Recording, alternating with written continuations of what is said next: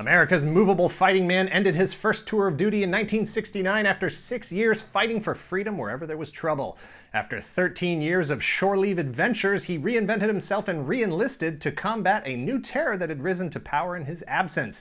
No longer a 12 inch figure with interchangeable outfits and customizable loadouts, Hasbro shrunk him down to 4 inches and put the focus on the G.I. Joe DMV. Hi, I'm Dan Larson, and these are the 10 best G.I. Joe vehicles.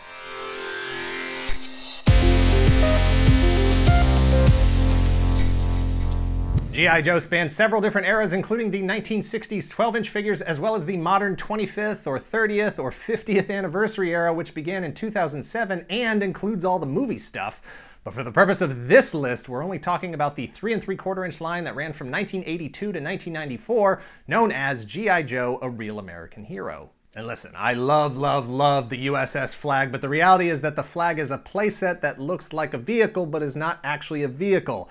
As designed, it cannot be moved, and I don't know, I feel like that disqualifies you for a list about vehicles. Number 10 is 1987's G.I. Joe Defiant Space Vehicle Launch Complex.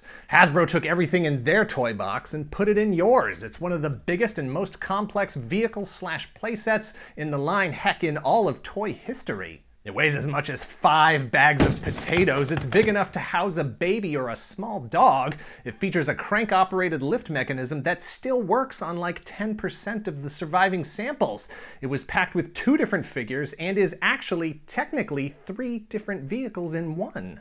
You're not going to get very far or very fast driving the launch platform crawler itself, but it is on wheels, so worst case scenario, it is a travel option.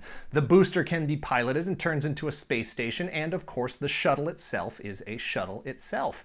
Nothing quite like it has ever been released, and likely never will be. Number 9 is 1982 G.I. Joe Rapid Fire Motorcycle or RAM. Size isn't everything. The RAM may not be able to launch a whole squad of Space Joes into orbit or store a whole bag of potatoes, but it is one of the meanest motorcycles ever designed. It is beautifully simple, government issue, military clunk at its finest form following function, ride fast, and shoot lots of bullets. Who hasn't daydreamed about having a sidecar Vulcan cannon on any vehicle to take care of literal blockades that life puts in front of your transportation? Fence gone, wall gone, snow, ice, rain, fog gone. Number 8 is 1983 Cobra High Speed Sentry or HISS tank.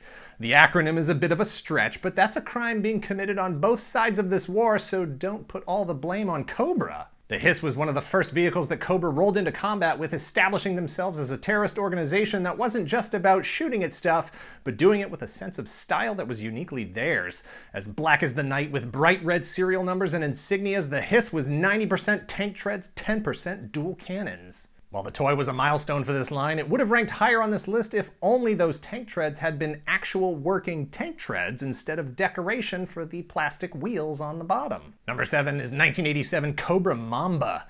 Helicopters abound in the battle between Cobra and G.I. Joe. Big helicopters, little helicopters, one, two, sometimes as many as three rotors.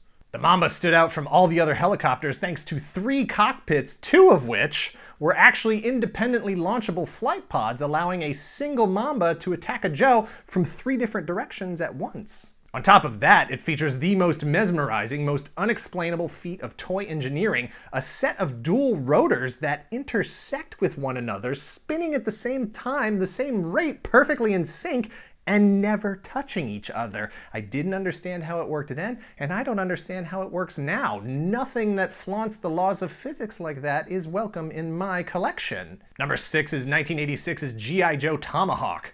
The whole reason Cobra had to invent the Mamba was to counter G.I. Joe's dual rotor helicopter delivered the year before. The Tomahawk carries a full payload of missiles, bombs, and a pivoting forward cannon.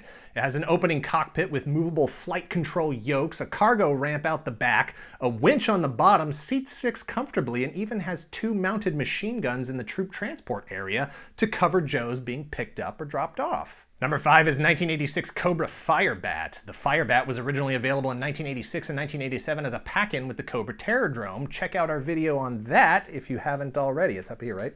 But it was also available via mail order from 1988 to 1993 in a slightly brighter red plastic. Cobra is the bad guys, we can all agree on that. That said, Destro, or whoever is in charge of vehicle design, is doing an inspired job. Just the name Firebat sparks the imagination, conjuring up a menacing, fiery, bat-winged aircraft, and the actual thing does not disappoint. Missiles, bombs, a machine gun, folding wings for compact storage. The pilot, AVAC, even comes with a removable flight harness. With or without the Terrordrome, it's a must-have piece. Number four is 1986 Cobra Night Raven S3P. Heavily inspired by the real-life Lockheed SR-71 Blackbird, Cobra took very few liberties with its own design. The original Blackbird was intended to have an unmanned drone attached to the back. Cobra, learning from the failure of the unmanned real-life drone project, and having plenty of loyal soldiers to spare, stuck a pilot inside that thing. It's big, sleek, black, has working retractable landing gear that also activate a set of air brakes, and it has a hidden missile compartment underneath. The Night Raven was a huge speed and stealth upgrade from their previous aircraft. Number three is 1984 Warrior Hovering Assault Launch Envoy, or WHALE. This is a case of the acronym coming first and what each letter stands for having to be filled in after the fact. There's a colon after warrior, for cripe's sake.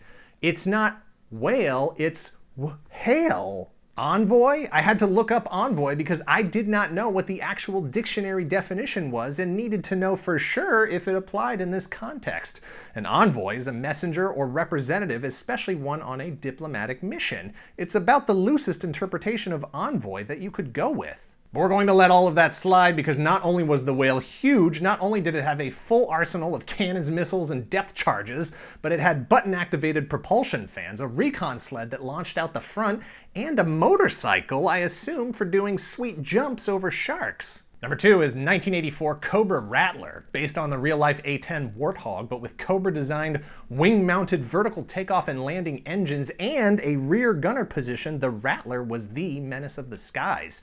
When it comes to an aerial show of force, Nothing tops the eye-blistering display of firepower visible from any angle of this flying death and destruction dispenser. Retractable landing gear, a pilot clad in red and black flight suit, along with the HISS tank, it is one of the signature Cobra vehicles as iconic as Cobra Commander and Destro's shiny metal faces. It was a multi-purpose fighter equipped for air-to-air -air combat as much as extremely low altitude strafing and bombing runs. It's a tank killer in our world, it's an everything killer in the world of G.I. Joe. And at number one is 1983's XP-14F Sky Striker, the first thing that appears in the first frames of animation for the first cartoon opening theme song in 1983 is three Sky Strikers flying overhead. It featured variable sweep wings for superior maneuverability. It's the same kind of airplane used by Maverick and Goose in Top Gun, and me when I pretend that I daydream about being Maverick and Goose in Top Gun. That's right, Ice Man, I am dangerous. While the Sky Striker only came with a single pilot, Ace, wearing a spacesuit for some reason, it was a two-seater and both of those seats had parachutes attached to them should your play scenario require one or both pilots to exit the craft on short notice. In only the second year of the line, it was a definitive piece demonstrating Hasbro's willingness to go big. 23 inches from tail to nose and 23 inches across from extended wingtip to wingtip, the Sky Striker was huge compared to everything that had been released for Cobra or the Joes up to that point, and would continue to be one of the biggest pieces in the line until its cancellation 12 years later. Those are the 10 best G.I. Joe vehicles 50% Joe and 50% Cobra. From motorcycles to space shuttles and everything in between, G.I. Joe delivered a wide and varied assortment of styles, sizes, and price points to move your troops in and out of battle around the world over land and sea and air, into space, and back again. Thanks for watching. Please give this video a like. Please subscribe if you aren't already a subscriber to guarantee that you never miss any of our videos. And let us know in the comments down below what you think the best G.I. Joe vehicle is. It hurt to disqualify the Flagg so early in the process, but without building a base for it and putting it on wheels or something, it's no more a vehicle than the headquarters or the terror Terrordrome. It doesn't matter how it moves to be ranked on this list, but it's gotta be able to move somehow, and that is the only thing the Flagg can't do. Sorry. It's not your fault.